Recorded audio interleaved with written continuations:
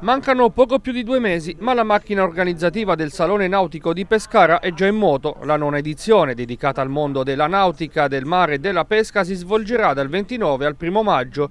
Con la conferma di importanti patrocini, come quello di Assonautica, l'evento pescarese assume un ruolo di rilievo nello scenario fieristico nazionale dedicato alla nautica. Oltre ad essere leader mondiali, la nautica italiana eh, insieme al turismo nautico eh, è stato l'unico settore che non è eh, arretrato, non ha subito neanche il Covid, anzi è cresciuto più di tutti gli altri settori e anche il turismo nautico, l'idea della vacanza in barca è ormai sdoganata, forse anche nella ricerca di libertà, di di, eh, di, di, avventura e tutto ciò che appunto la, una vacanza in barca può essere fatta e non solo essendo proprietario ma anche noleggiando o locando un'imbarcazione un da diporto. Tante le novità in arrivo per espositori appassionati. La superficie indoor e outdoor raggiunge i 4.000 metri quadrati, oltre alla possibilità di esporre imbarcazioni e natanti con possibilità di visita.